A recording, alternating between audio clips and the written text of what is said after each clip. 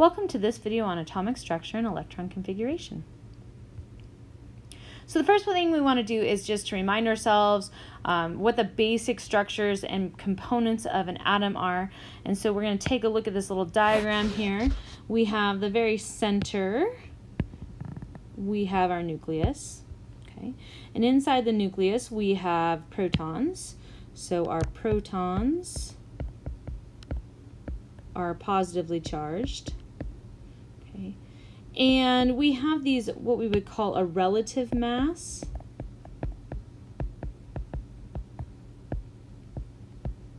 And for protons, they have 1 AMU.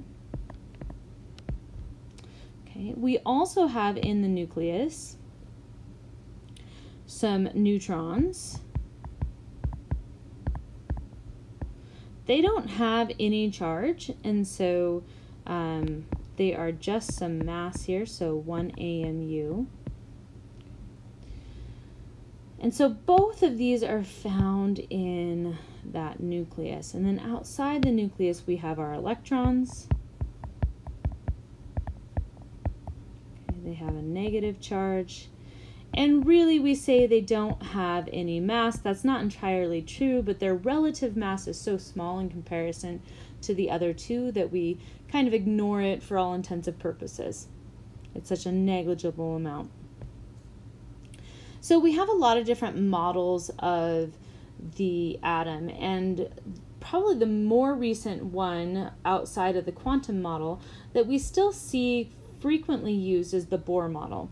And so in the Bohr model, the one thing that's really nice about it is that it actually puts all of our electrons into these energy levels. So it it originally it's wrong in that electrons do not so it's wrong because electrons do not orbit okay, or take a clear path, um, the nucleus.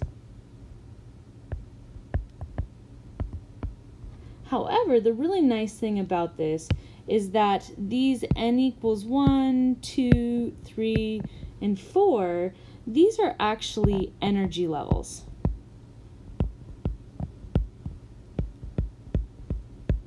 And it's nice for looking at overall energy levels and so it's usable for that. It's also kind of a simplified model um, in comparison with the quantum model. And so this is actually showing amounts of energy between these different um, these different levels. And so we see between these different energy levels how much energy it takes to go between one and another um, from from different perspectives in there. The quantum model is actually our current model. And in this model, we say that we have not orbits, but orbitals. Okay, and those are regions of probability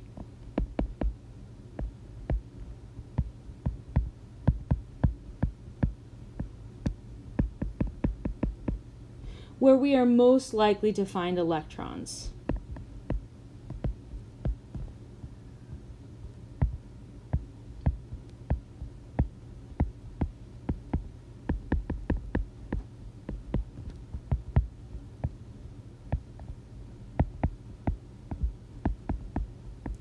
Now, Heisenberg uncertainty principle says we can't know the exact location and the exact um, velocity of an electron at any given moment, and the more we know about one, the less we know about the other. We're not usually too concerned with that for what we do, but we do want to know that the S's, so we have the 1S here, we have the 2S, and we have the 3S. And so we have these S orbitals, and s orbitals are always spherical. So we can write that up here. So we have s orbitals is spherical. Okay, we have these p orbitals. And I think of them as a figure eight some textbooks will call them a, uh, a dumbbell or a barbell. Okay, and so we have here we have a 2p and we'll call this 2py we have a 2px and we have a 2pz okay and so these are our different orbitals or regions where we be be most likely to find those electrons we also have some other orbitals our d and our f orbitals they become a little more complex in their structures So what's holding our atoms together as far as force of attraction? Well, in the nucleus itself, we have something called the strong nuclear force or the strong force. And so basically, it is where we have um, a strong force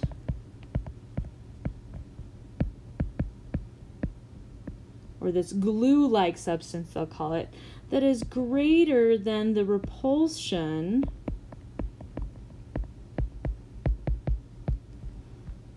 of all of your positive protons. So P plus is my shorthand for protons.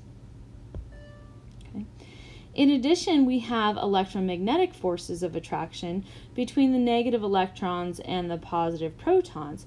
And so we have this, um, this concept called Coulomb's law that basically says the stronger the charge and the closer together, the greater the force of attraction when we're looking at electrostatic forces.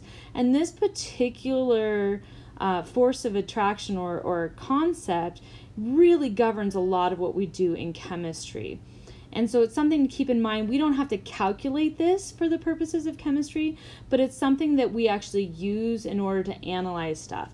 So keep in mind that the the greater the electric charge, so if we have greater values of Q, okay, um, and if our distance is less, maybe that's hard to see there.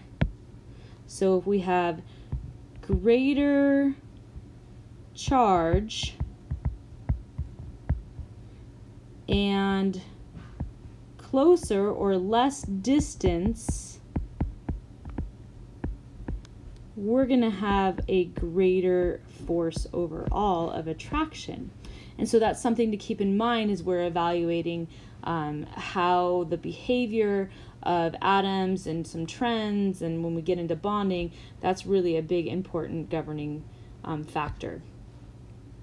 So I like to look at charts that look like this. And so we have this electron arrangement um, or the way that our electrons fill into our atoms. Um, and we can use the periodic table to help us do this. It took me a long time to actually figure out how to do this well. I have a couple other tools I'll show you as well. Um, but I think this is actually the easiest way to do this. So if you notice, all of the S's are over in the left two columns with the exception of the 1S2, which is going to be in the far right-hand column. That's going to be helium. Everything in the transition metal block is going to be D's.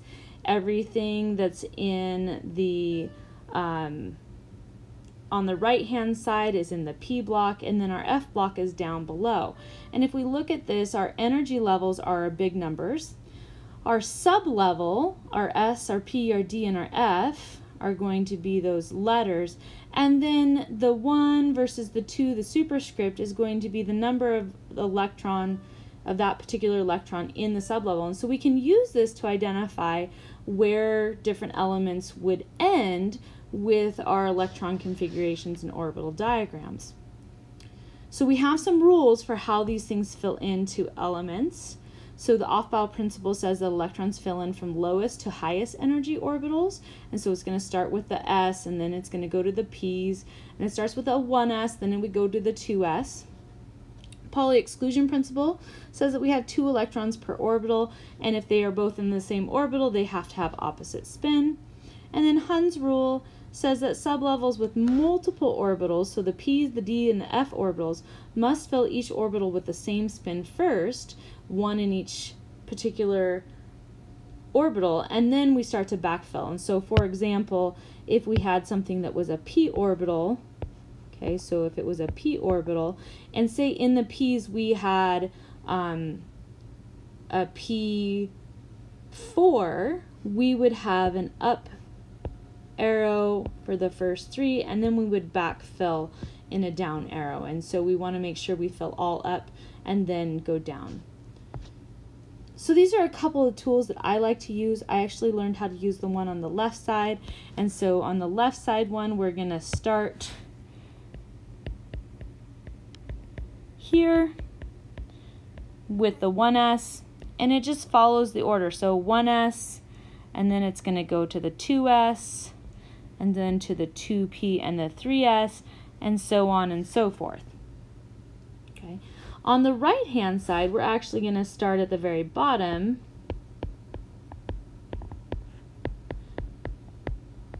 And again, it's going to go from the 1s to the 2s to the 2p. The nice thing about this diagram is each one of these little circles is actually one orbital. And we know that two electrons can fit into each orbital. And so sometimes that helps us to estimate what we're going to have for our electron configuration. So let's go ahead and try an electron configuration. You can use any of those tools that you've seen. I'm going to put some of those um, resources, make those available for you as well online. So the first one asks us to draw an orbital diagram. Okay, so I'm going to do that in blue and do an electron configuration. We'll do that in green for aluminum. So I have to look on the periodic table and aluminum is number 13, so it has 13 electrons as is and it's also in the P block it's underneath boron and so it's going to be 1, 2, it's going to be in the 3p1 is going to be the position that it ends in. So I can use that or I can say I have 13 electrons and I can just start to fill them in. So for my orbital diagram, I'm going to start off with a 1s. Okay, then I'm going to have a 2s. And so I have 2 in here, so 1, 2. And aluminum we said is 13 electrons. So 3, 4. Then I'm going to go to the 2p, that's the next one. So we have three orbitals in the 2p. So all three of these are part of the 2p. So I'm going to go, so we have 4, 5, 6, 7, 8, 9, 10. 3s, 11, 12, and then the 3p, I'm going to draw all three orbitals, even though I'm not going to fill all of them. And it's in the 3p1 position, so let me count them again. So 1, 2, 3, 4, 5, 6, 7, 8, 9, 10, 11, 12, 13. So I've accounted for all 13 electrons, and we do want to still draw all of those orbitals for the p's. Now, if I do the electron configuration, it's usually a little bit more simplified. So the electron configuration for this, we write 1s for electrons being in the 1s, and then we write 2 up here representing each one of these arrows or each electron that's in there. And then we have 2s, and there's 2 in there. And then we have 2p, and we have 6 electrons in the p's. 3s, 2, 3p1. And so both of those are different ways of representing electrons in aluminum. So number two says write the electron configuration for an element isoelectrically the same as argon. Okay, so isoelectrically the same means it's going to have the same number of electrons. Okay, so this means same number of electrons as argon with a 2 plus charge. And so we have to think of, okay, what's going to have a 2 plus charge that, that would look the same as argon? And so calcium is actually a 2 plus charge as an ion, and when it loses its two electrons, it looks like argon. So we're going to go ahead and do the electron configuration only in this particular case. Okay, we weren't asked for both. So the electron configuration for that is going to be 1s2, 2s2, 2p6, 3s2, 3p6 because calcium is normally in the 4s2 position but we need to account for 18 electrons. So either if we're looking at argon or for calcium with a 2 plus charge, we have 18 electrons. So we have 2, 4, 10, 12, 18. And so we can double check that way by counting up all of our electrons. Okay, the very last one is we want to write the noble gas or shorthand electron configuration for selenium. And so when we write our noble gas or shorthand electron configuration, um, we are going to write the previous, okay, so we're going to write the previous noble gas